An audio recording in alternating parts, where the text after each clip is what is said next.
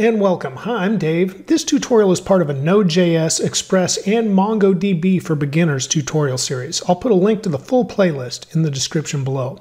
In the previous tutorial, we created Mongoose schemas and models for our MongoDB employees and users collections. We also applied the user model to our REST API's register controller for the register route. Today, we're going to apply the user and employee models to the remaining API routes and update the asynchronous CRUD operations accordingly. And before we finish, I'll show you an easy way to deploy your REST API to the web. We're going to start with the code from the last tutorial. If you don't have it, I have a link to the starter source code in the description below. Let's get started. We're looking at the user schema and then of course we create a model here at the bottom. That's where we're starting and we applied it to the register controller near the end of the last tutorial. And you can see we imported in the user model and this replaced what we had previously in the tutorial series, which were JSON files. Now we're using MongoDB and we're interacting with MongoDB by using the Mongoose schemas and models that we've created. So now let's apply our user model to the next route and instead of register, let's just move up one and go to the refresh token controller. Okay, you saw I copied the user model import from the register controller file, and I'm going to paste that right over the users DB that we had previously defined to interact with the JSON file. So now we're bringing in the user model, and now we can update the handle refresh token function. We'll start out the same here where we define the cookie and of course get the JWT from the cookie if it exists. But then as far as checking to find a user, we have to do that differently. And let's go back to that register controller for just a second because we did a very similar thing. We used user.find1 and we passed in the name of the user. Well, this time we won't have the username, but besides that, it will be very similar. So let's highlight all of this where we were finding the refresh token inside of the JSON. And let's paste in our user find one.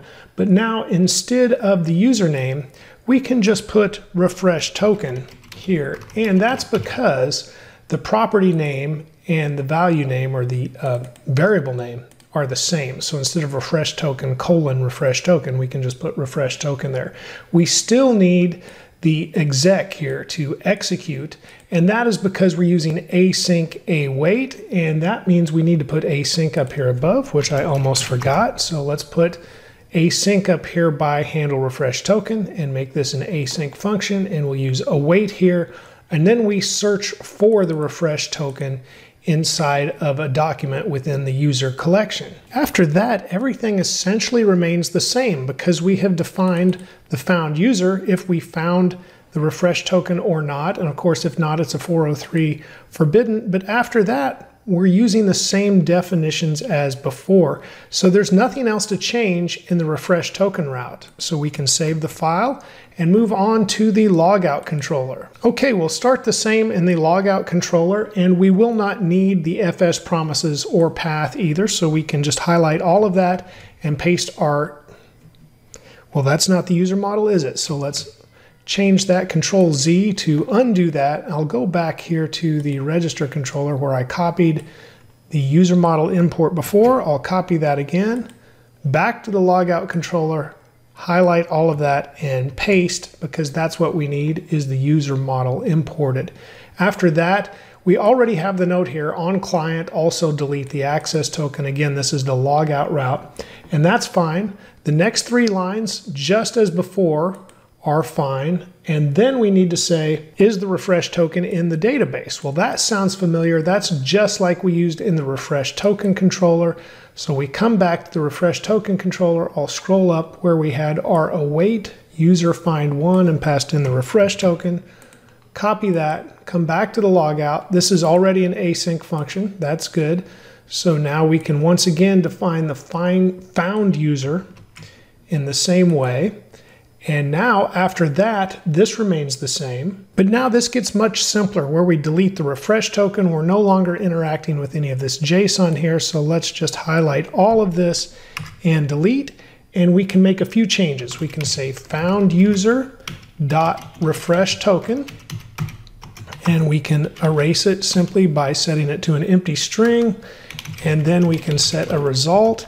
And we'll set that equal to await found user dot save.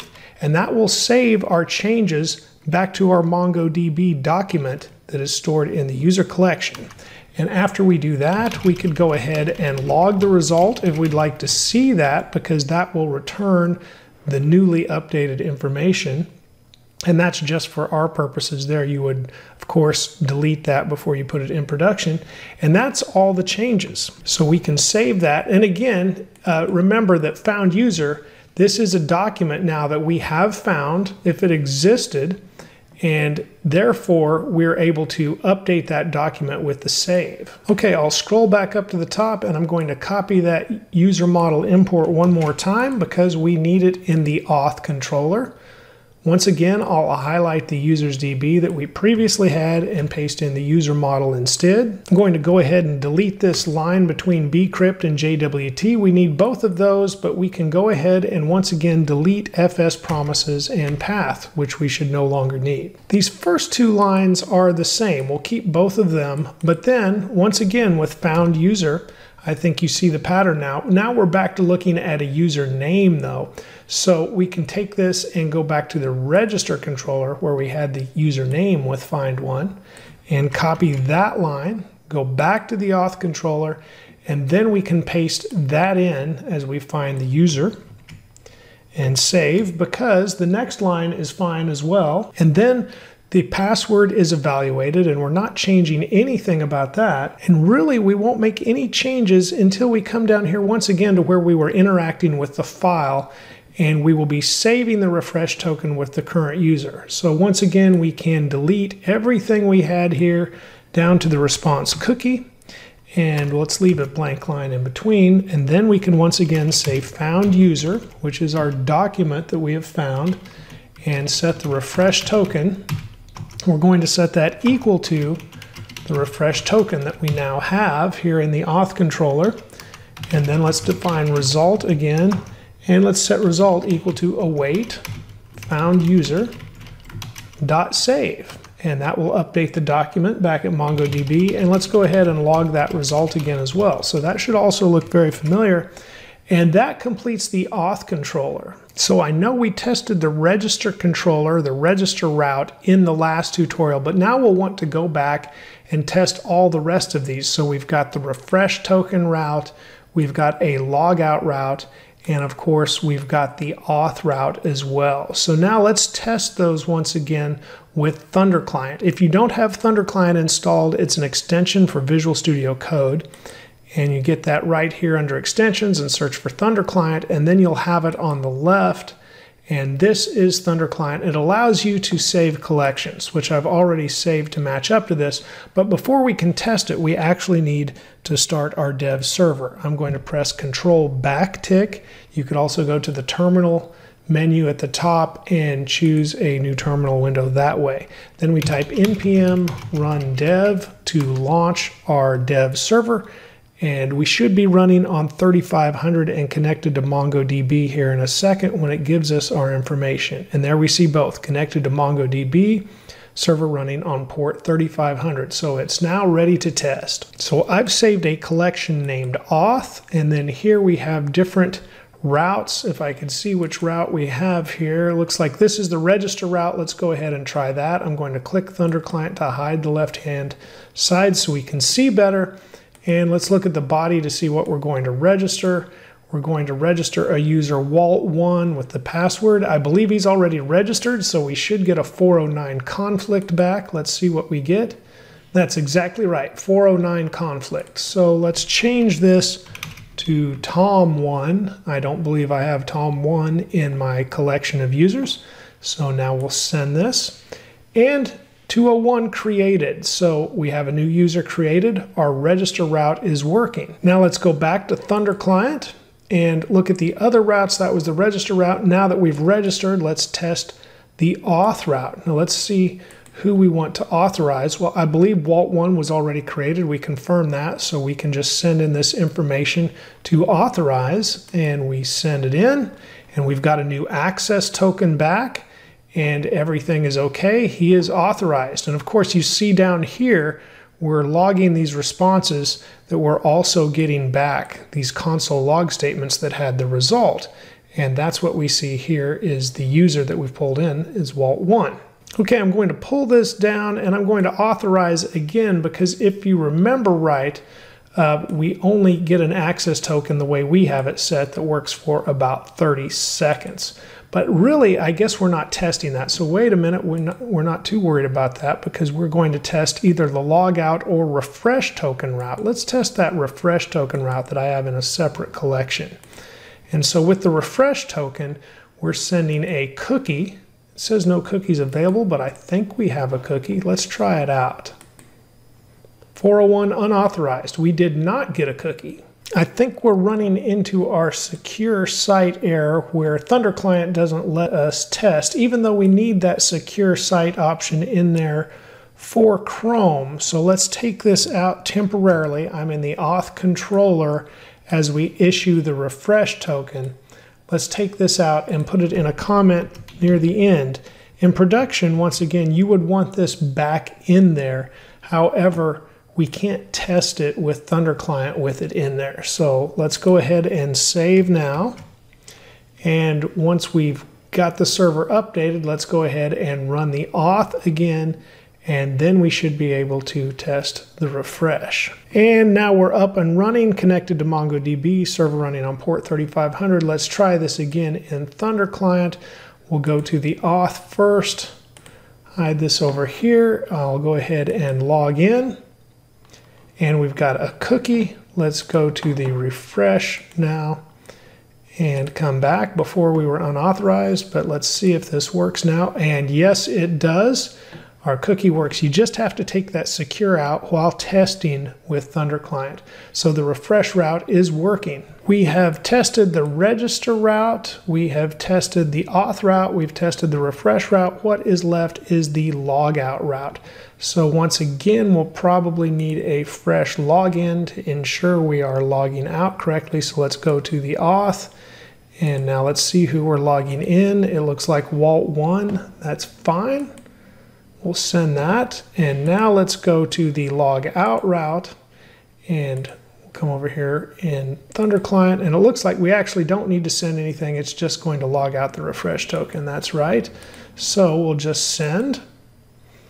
And 204, no content, that's fine. We didn't expect any content to come back, but we can see down here because we logged the result, we logged out, there's the route, we went ahead and logged out and we logged out our user Walt1 and we set the refresh token to an empty string. Okay, those updates using the user model were not too bad at all. Let's go back to the file and what we want to do now is update the employees controller with the employee model. And this will be just a little bit more work than what we had previously had. But we'll start out once again by eliminating the JSON file and let's go ahead and import our employee model. So we'll have const employee and we'll set that equal to require and then we need to go up one folder, find the model folder, and then employee. That is correct. And now let's look at our get all employees route. Well, before we just grab the JSON and return that. Now this will be just a little bit more uh, to do with MongoDB. And of course, this will be an async operation. So let's remove this response JSON for now. And we'll define employees. And let's set this equal to await employee.find. And by calling find like this, it will return all of the employees. Then we can say if there are no employees, we're going to return, and then we'll send a response with a status 204, which is no content, and then JSON, and we'll send a message here. And in our JSON message, we'll just say it's a string, no employees found. And after that, we'll assume we do have employees if we've made it this far. So we'll say response.json, and we'll send the employees. And I can see I've got an error. I put brackets instead of curly braces. Go ahead and eliminate that bracket and replace this one as well. And we should be good. So let's go ahead and save this. Now let's look at the create new employee function, which will also be async. So let's start here. And with that, we can probably go ahead and change quite a few things that we have in here. So I'm just going to highlight all of this and remove it. And after that, we'll start out with an if statement, but different than we have below. This will be if a request, and now we can use optional chaining to say as a body, and then if it has a first name, because we need all of that, or we can say the same thing about the last name. Essentially, we're saying if there is no first name or last name, and we would expect the request to have a body, but for some reason, if it doesn't, we'll catch that as well. So if we don't have any of those, let's go ahead and send a response here, and we'll return response.status, and this would be a 400 because it would be a bad request. There's JSON curly braces this time. Message, and our message will be first and last names are required. And you can see we had something very similar below, but it was just a little different than that. So now let's eliminate that as well. And let's just go ahead and delete these lines too, and we'll start over just a little bit. We'll put an extra line there, and we'll do a try catch block. And of course we have the catch after, Here's our error. And if we catch an error, let's just console error the error. Okay, but in the try block, now let's define a result and set this equal to await, use our employee model, and now we're create. We'll create a record here, and we'll say first name is request.body.firstname and last name would be much the same pattern, request.body.last name. And I'll put my semicolon here and save. But we still need to send a response. So we'll say response.json. Oh, let's put a status first. And the status here would be a 201, which stands for created and then we'll send the result back with the record that we have created. Okay, let's scroll down now and look at the update employee. Once again, it will be an async function. And after that, we'll start out a little differently. So let's go ahead and delete. And well, we don't need to delete that line. Let's just delete the top line to begin with. Okay, so we'll start out with if, and once again, request, and let's use optional chaining, body, and now we're looking for an ID. And if we don't have the ID, we'll return response status 400. And after that, we can just give a message in JSON. And let's see if it's the same message that we have below. Not quite the same. So here, let's add a little message different and we'll say message and ID parameter is required. Okay, so we've confirmed we now have an ID if we make it to the next spot. And here we can define our employee. So we'll say const employee and set this equal to await, call our employee model, and we'll use find one here and now, remember MongoDB uses an underscore ID. It automatically generates that, and we're going to compare that to request.body.id that is passed in as a parameter. And after that, we need to call the exec at the end to call that function into action. Now let's go ahead and delete the next line here, and we can say if there's no employee, return status, let's change this to a 204 because it's not really a bad request at this point. It just means that they requested an ID that doesn't exist. They might have issued the request properly. But now let's say something just a little different. We'll say no employee matches and ID, and now let's get rid of this at the end and get rid of the not found part. No employee matches whatever ID was passed in there.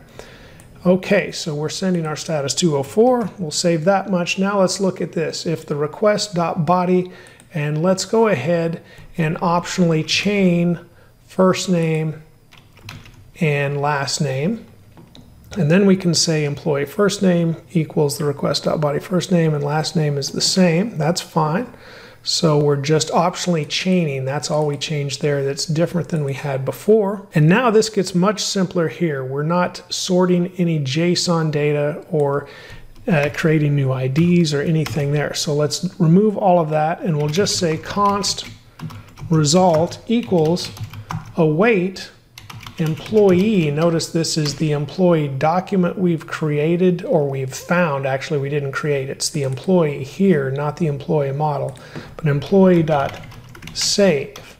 And now we've saved any changes we've made to this employee document. And then instead of data employees, we'll just send the result we've defined here and save, and that is our update employee function. Okay, let's scroll up and take a look at delete employee, which should also get a little simpler, but we're going to start out much like we did before, so we'll say if there is no request, and we'll optionally chain body, and then we'll optionally chain the ID, then we're going to return response.status 400, and that should also be JSON and here we'll have a message and our JSON will say employee ID required and put the semicolon there. And now we need to define our employee again, which will be much the same as we had before really. It's the find one with the body ID. So let's just scroll up here and copy exactly what we had before and come down. And here we have defined the employee ID again. And so then our employee not found will probably be the same as well. So we can copy that and come down here as well and just copy this over and paste. And then after that, we will not be filtering. So let's just remove these lines here once again. And we'll say const result equals await employee dot delete one now instead of find one. And here once again, this will be underscore ID, and then it will be the request.body.id that was passed in. We do not need an exec after delete one.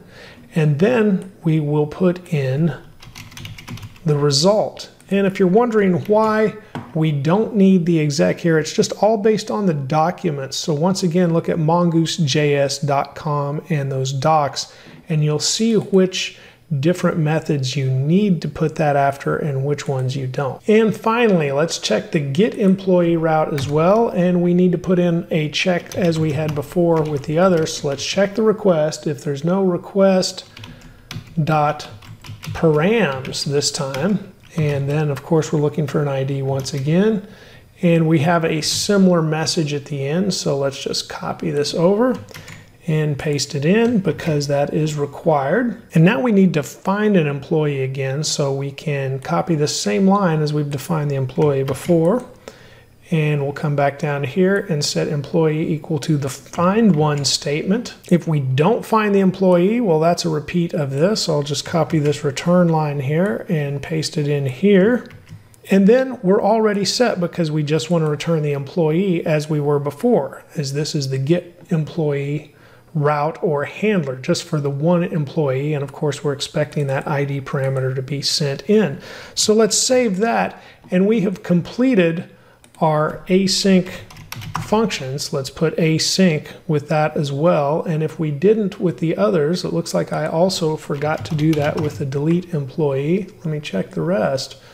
Uh, we need to have all of these functions as async functions and they complete the different CRUD operations, create, read, update, and delete for the employees collection. Before we test the routes, there is one error to fix. Notice I was using params as we're using a get route to pull that in, but I put request body.id in the function, and this needs to be params.id to access that value that we get from the URL in the route. Okay, so now that we have fixed this and we're now using params, let's test the routes. And we need a JWT to be authorized. So let's go ahead and use the auth route. You might want to change your code to timeout or for a longer timeout duration than 30 seconds. Mine is set to 30 seconds, so I've got to be a little fast to test these routes. But let's go ahead and get authorized. Now we've got a new access token. We can jump back over here. I'll open the employees routes. I want to get all employees. And now for the authorization, I need to paste in the new token. And we get our one employee, Walt Walters. I'm going to copy his ID, open the terminal window, and just paste his ID down there because I'm going to need it to test the individual get employee route. So we'll come back now and get authorized once again, collapse the employees API routes and check the authorization, get a new access token. Once we've got the new access token, go back to the employees API, go to the get an employee route, an individual employee, and we'll paste that token in here, and I need the ID to put in the URL. And I'll paste that in and send, and we get Walt Walters back. Once again, now that we're using the request.params.id for this route, because the user ID is read directly from the URL as it is a GET request. Okay, let's get authorized once again, and then we'll come back and test the post. Here is the auth route. Again, we'll send, get a new token. Back to Thunder Client, open the employees APIs, look at the post an employee. Here's the new auth paste that in, look at the body. We've already got Walt Walters. Let's change this to Dave. Walters is good. Now we have Dave Walters as an employee that was created, a status 201, which is created. One more authorization to go so we can test the put, I guess two more, and then the delete as well. So let's go here and authorize once again. New access token come back to the put route and let's see what we need here. Let's put in the access token. And in the body, oh, we need to specify the ID once again. Well, let's, and we change a first name to David. Let's go back, and I believe in the get employee route, I still have that ID that we used before. Oh, and it's still down here in the node uh, terminal as well. So we could pull it out of there. So let's reauthorize.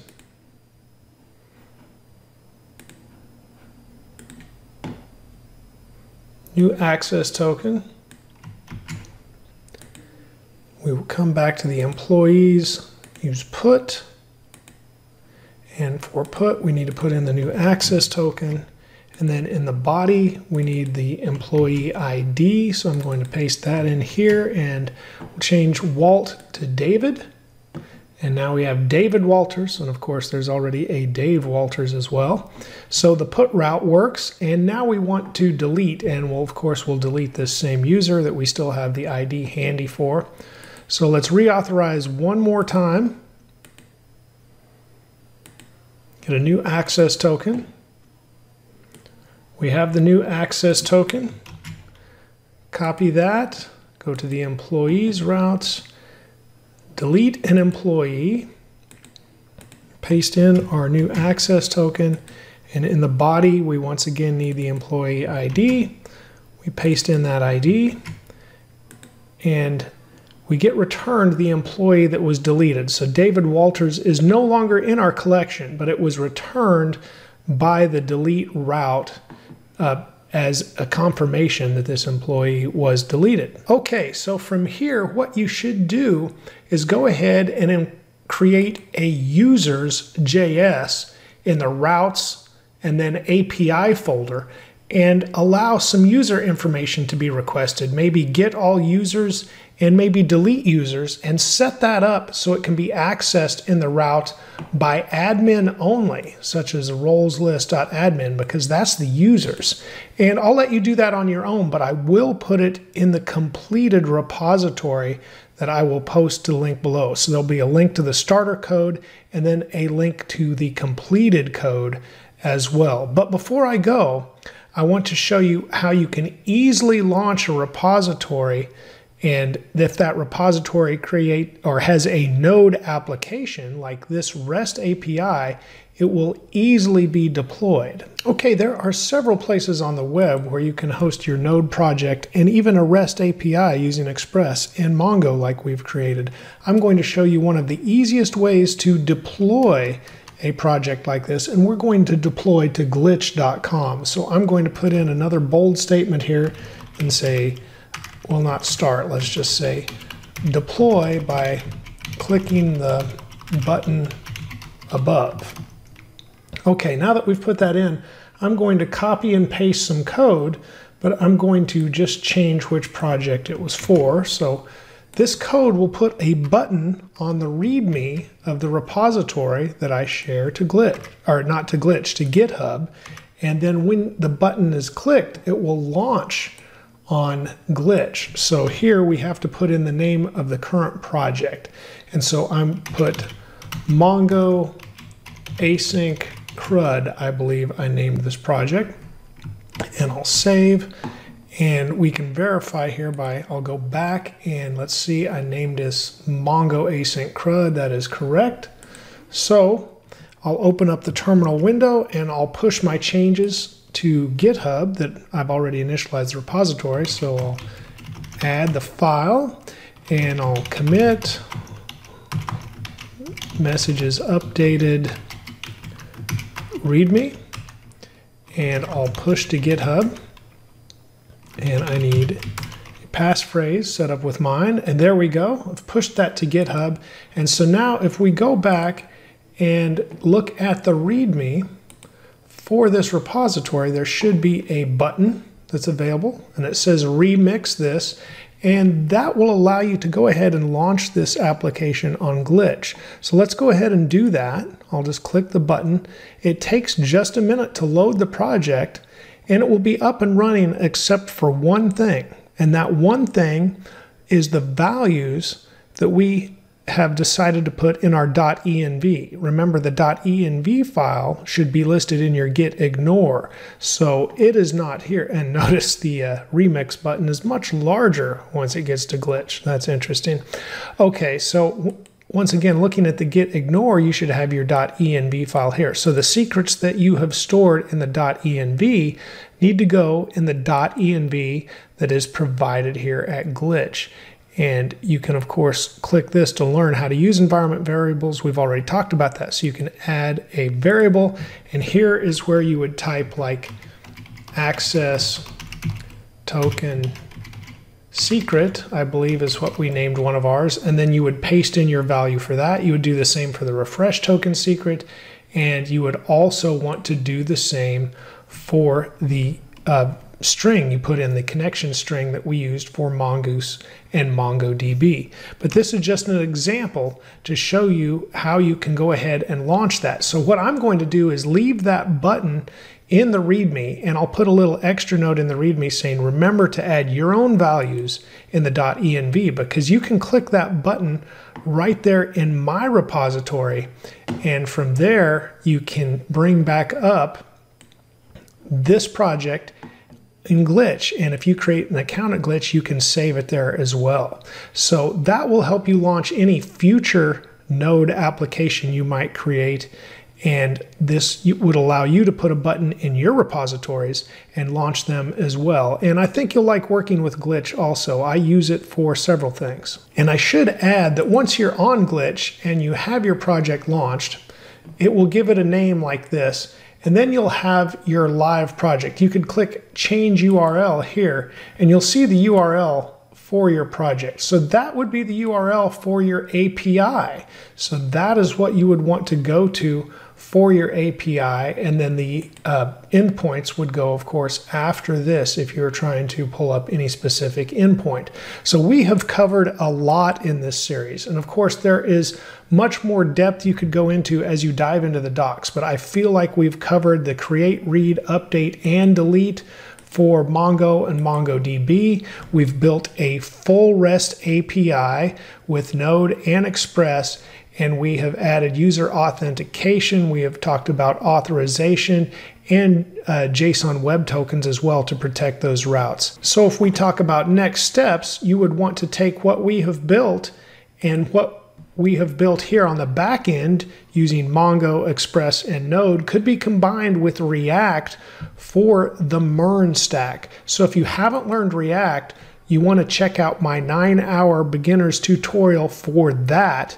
And you can combine that knowledge with this backend course knowledge to complete the MERN stack. However, you could also add whichever front end technology you wanted to this backend with Mongo, Express, and Node for whatever application you wanted to create. Remember to keep striving for progress over perfection, and a little progress every day will go a very long way.